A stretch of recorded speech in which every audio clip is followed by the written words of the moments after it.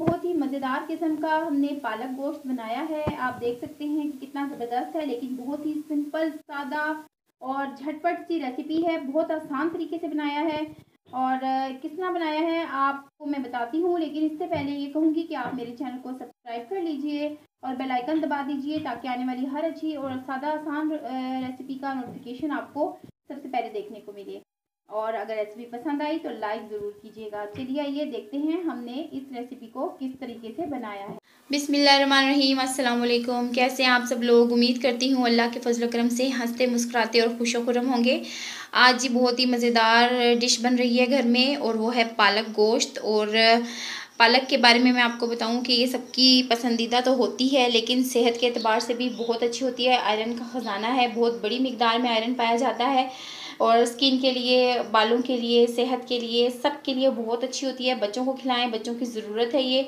और बेहतरीन कॉम्बिनेशन है, पालक गोश्त।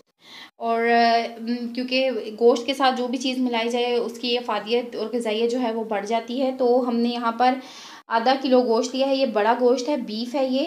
तो चर्बी वाला हमने लिया है। मैंने मज़ीद इसमें कुछ चर्बी और भी शामिल की है, जो मैं रखी होती है। मैंने मैंने आपको पहले भी बताया था कि मैंने रखी होती है। तो चिकनाई पालक गोश्त में जो है वो बहुत ही मज़ेदार लगती है, बहुत अच्छी लगती है। तो इसमें घी थोड़ा सा ज़्यादा लगता है क्योंकि पालक जो है वो ज़्यादा चिकनाई चूसता है। वैसे तो घी सेहत के अतबार से ठीक नहीं है, लेकिन अगर आपने जायके को देखना है तो थोड़ा सा घी जो है इसमें ज़्यादा जाएगा। तो बेहतर यही है कि आप चिकनाई वाला गोश्त ले लें ताकि एक अच्छी चिकनाई हो इसमें मौजूद। आप बाहर की चिकनाई ना डालें इसमें ज़्यादा। वो थोड़ी सी कम डाल दें। तो हमने दो गड्डी पालक ली है, उसको अच्छी तरह धोने के बाद काट लिया है, पानी निचोड़ लिया है मैंने, इसका देख लें कितना फ्रेश पालक है। और आधा किलो गोश्त है बड़ा, दो अदद बड़े साइज़ के मैंने टमाटर लिए हैं, उसको काट लिया है, और दो अदद दरमियाने साइज़ की प्याज लेकर उसको काट लिया है। एक गड्डी जो है, एक गट्ठी जो होती है, वो लहसुन की मैंने छील ली है। बहुत ही सिंपल से मसाले हैं। एक चाय का चम्मच मैंने नमक लिया है, क्योंकि पालक नमकीन होता है। कुछ इसमें थोड़ा सा देख के डालना पड़ता है, नमक बाद में डाल लेंगे हम, क्योंकि नमक जो है ऐसा मसाला है जो कम ज़्यादा हो जाए तो ज़्यादा हो जाए तो थोड़ा मुश्किल हो जाता है, लेकिन उसकी भी टिप्स हैं उसको मेंटेन करने की। लेकिन कम हो जाए तो उसको डालना आसान होता है, लेकिन स्प्रिंग करके नमक खाना ब्लड प्रेशर वालों के लिए ठीक नहीं है। तो चलिए, एक चाय का चम्मच मैंने नमक लिया है, एक चाय का चम्मच पिसा हुआ धनिया है, एक चाय का चम्मच पिसी हुई लाल मिर्च पाउडर है, एक चाय का चम्मच, आधी चाय का चम्मच हल्दी है, आधी चाय का चम्मच ज़ीरा है, एक चाय का चम्मच भर के मैंने अधड़ा मिर्च ली है, एक चाय का चम्मच भर के सूखा जो वो साबुत धनिया होता है उसको धड़धड़ा कर लिया है मैंने। अब जी यहाँ पर लिया है मैंने एक कुकर। ठीक है? इसमें मैं शामिल करती हूँ गोश्त। बहुत ही आसान तरीका शुरू होने लग रहा है। बिस्मिल्लाहिर्रहमानिर्रहीम। ठीक है जी? ये मैंने गोश्त जो है वो शामिल कर दिया इसमें। देख सकते हैं आप। ठीक है जी? गोश्त चला गया इसमें। अब इसमें जाता है जी टमाटर। बिस्मिल्लाहिर्रहमानिर्रहीम। टमाटर भी डाल दिए। और अब इसमें डालने लगी हूँ प्याज और लहसुन। बिस्मिल्लाहिर्रहमानिर्रहीम। प्याज और लहसुन भी डाल दिए। और ये तमाम मसाला जात। बिस्मिल्लाहिर्रहमानिर्रहीम। तमाम मसाला जात। अब मैं इसमें डालूँगी तकरीबन डेढ़ गिलास पानी। जी, मैंने इसमें तकरीबन डेढ़ गिलास पानी जो है वो शामिल कर दिया है। फ्लेम ऑन है।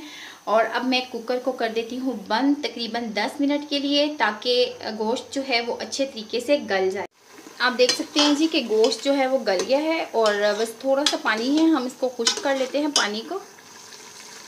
तकरीबन 10 मिनट के बाद हमने कुकर को खोला है। पानी जी तकरीबन हो गया है खुश्क, अब हम इसमें डालेंगे तकरीबन चार खाने के चम्मच घी।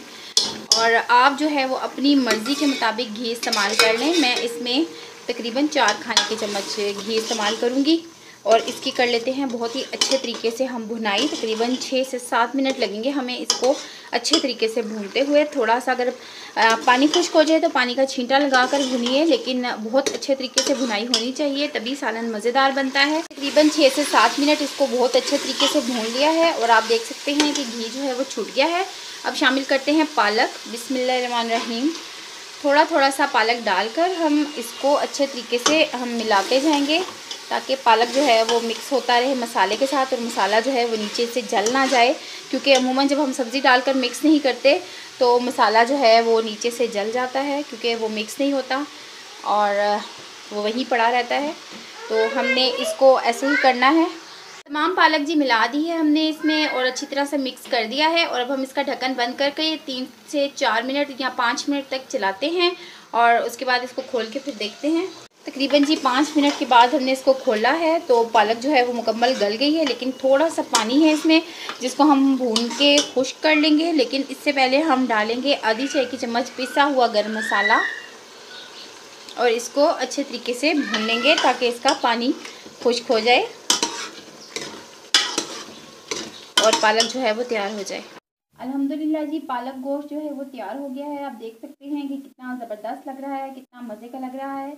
इसी रेसिपी से बनाइए इन बहुत ही अच्छा बनेगा। बहुत ही आसान है। आपने देखा कि कितनी झटपट, कितनी जल्दी से हमने बना लिया है और बहुत ही मज़ेदार है। मैंने अभी इसको ट्राई किया है चख के। तो इसी के साथ मैं आपसे इजाज़त चाहूँगी, लेकिन इससे पहले ये कहना नहीं भूलूँगी कि आप मेरे चैनल को सब्सक्राइब कर लीजिए। और अगर अभी तक आपने बेल आइकन को नहीं दबाया तो बेल आइकन भी दबा दीजिए ताकि आने वाली हर अच्छी, आसान और सादा सी सिंपल सी रेसिपी का नोटिफिकेशन आपको सबसे पहले देखने को मिले। और इसी से, अगर ये रेसिपी आपको पसंद आ गई है तो प्लीज़ इसको लाइक ज़रूर कीजिएगा। इसी के साथ इजाज़त चाहती हूँ। अल्लाह